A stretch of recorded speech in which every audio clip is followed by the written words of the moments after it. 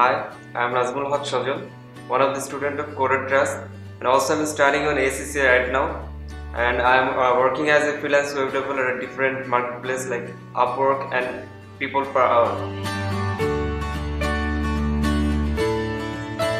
I have got my first freelance project at first of this 2015. My Australian client had a static website to make uh, responsive and uh, redesign.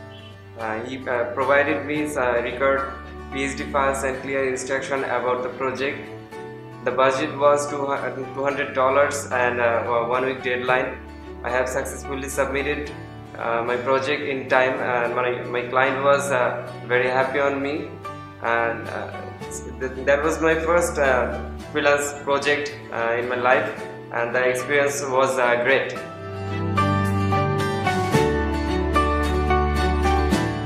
As I'm freelancing right now, but I have a long-term plan about my career. I want to uh, continue my uh, freelancing career like two or three years.